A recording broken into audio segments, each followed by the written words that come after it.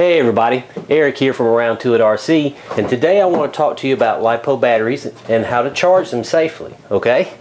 Now, these are all different types of LiPo batteries that I've got here on the table. Four cells here, three cell batteries, two cell batteries, and uh, they're all different. They're all different sizes. They've got different plug-ins, but there's one thing common with all these batteries that you need to be aware about is the safety factor when you charge them. Now, improperly charging a battery uh, does happen from time to time or overcharging may occur and then sometimes the cells just go bad. I've seen it happen before. It's not a pretty sight. Trust me. Anyway, what happens is with these lithium polymer batteries is uh, the reaction from a battery breaking down or being improperly charged or overcharged, it creates uh, hydrogen gas.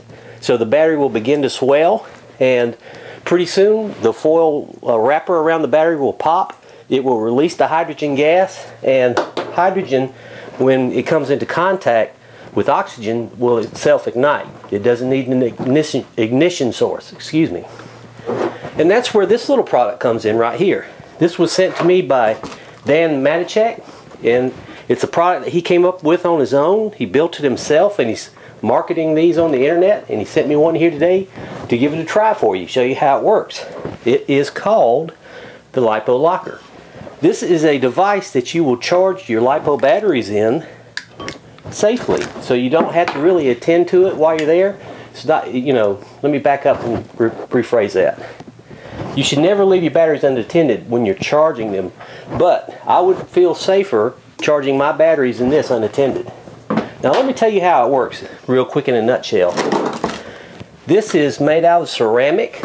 It's a ceramic that will uh, take uh, high temperature changes. So it's a high temperature ceramic. This is the lower half of it right here. This is the section that you would actually put your, your battery in. Now, I have a demo version, so it won't be exactly like the version that you'll get from uh, Dan Matichak on lipolocker.com. But what you would do, your power leads would be right here, which I've just got a test lead on mine for now. You would take your, your LiPo battery, plug it in, and set it inside the bottom half. The top half, now this is pretty ingenious. I like this. It's filled with sand. And I've got some sand here that I used. Uh, you can buy play sand and use with this. As, uh, as long as it's a fine grain sand, I just want to go out in the yard and dig up sand and put in here. It has to be dry so it's free flowing. And let me get to that, why you want to use the sand in the top half. The sand actually acts as an extinguishing uh, extinguisher. So right here, I've already fixed mine up. It's I know it's a little hard to see, but I've already filled the top section of mine with sand per instructions on uh, from Dan. And I'll put links in the video notes on his assembly video for the LiPo locker. But anyway essentially the top half is filled with sand. It's got a plastic sheet on top that keeps the sand from coming out. You see it's not coming out now. And what you would do you would place your battery inside the LiPo locker the bottom half put the top half on like this and then charge and go with it. Now, if it were to, if your LiPo battery were to accidentally discharge or explode inside this case right here, what would happen? The fire would melt the plastic, release the sand, and dump it on the battery.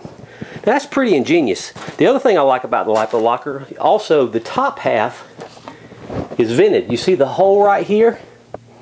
If you look on this side, there's a vent that goes all the way through the top section. So it, when you if your battery were to explode or to release gas, it would have a venting, a spot to vent the gas out, out the top safely.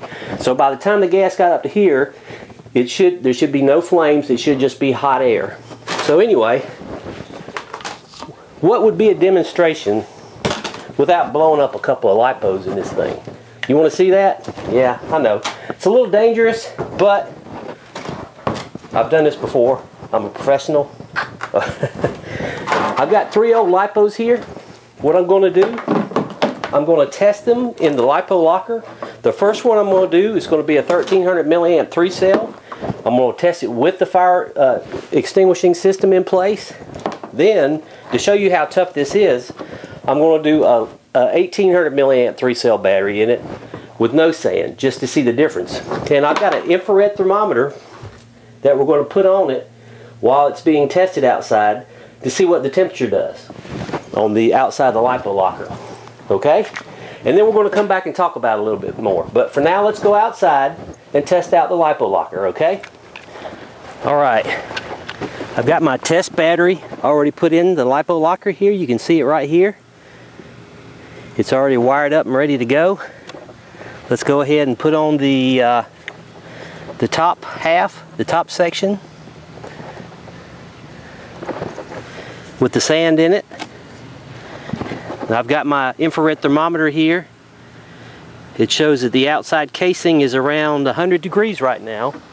So we're gonna hook this battery up, overcharge it, and see what happens with the LiPo locker. All right, here we go. Okay, I see a little smoke.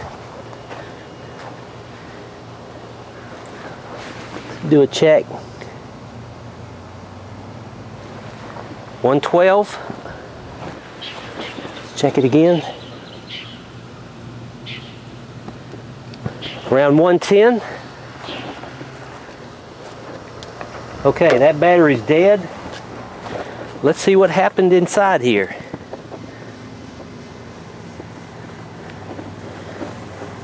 Okay. Whew. That battery smoked all right. All right. Let's do a quick thermal check. 115 on the outside. Now let's see what the battery reads. That's the battery temperature right there. 182. And the LiPo locker is cool enough for me to pick up and touch. Okay, let's test another battery. All right, we're going to test it now with a bigger three cell 1800 milliamp pack right here. And I've already got it wired up and inside. Now, you see some little sand here. The sand, my film actually broke. It didn't break from the, the first test. The wires poked holes in the bag. So I just put some tape on it.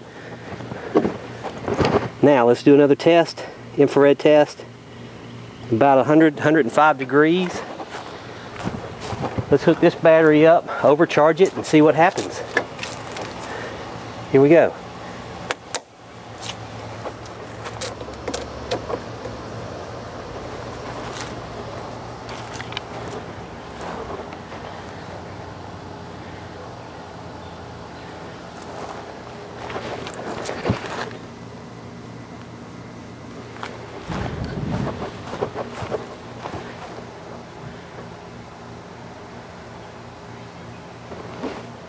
All right, I think that battery's toast. Let's check the outside container again. 150. Oh, wait a minute. Did I read it right? Yeah. 140, 130, 130, 110 on the back. It must have a hot spot right here somewhere. Around 145.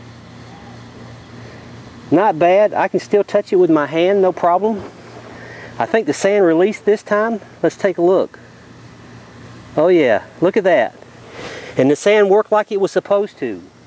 You see the fire burst the, uh, I can't see the hammer, here we go. Yeah, the fire burst the, uh, the plastic liner. It released the sand down into the bottom of the LiPo locker. Wow, look at that. It's still going. Let me back up.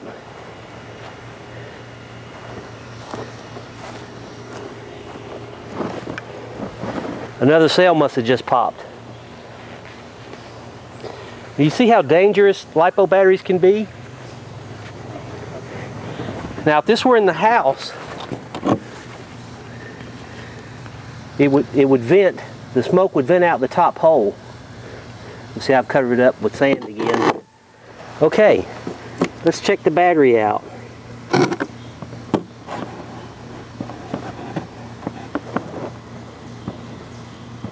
Wow, look at that. All right, see that right there? That's what could happen if you just leave it setting out, right? If that was setting out on your workshop table or something, it would it would smoke and catch something else on fire, possibly burn your house or your workshop down. I'm really enjoying this lipo locker. It looks like it's well worth its money. Well, we successfully tested two different types of batteries in the lipo locker. The first one being a small three cell type battery. It, uh, it did overcharge, but it didn't catch on fire and release the sand extinguishing system. But the larger battery, which I don't have one like it in here, it would look something like this. The larger three cell battery did catch on fire, melt the plastic, drop the sand extinguishing system. It completely covered the battery up in the lower half of the lipo locker. It allowed the gases to escape out the vent hole with no problems. And if you remember, the, uh, the lipo locker was still cool enough to the touch that I could pick it up if I wanted to. So I think it's a really great product for charging LiPo batteries. For more information on getting one of these, see Dan Matichek and his website at lipolocker.com to get one of these bad boys. And also, check in the video notes. I'll leave the links for Lipo Locker, and I'll leave the video links to how to assemble one of these. Okay? Thanks for watching. I hope you enjoyed the product review here at the Lipo Locker, and we'll catch you later on the tube.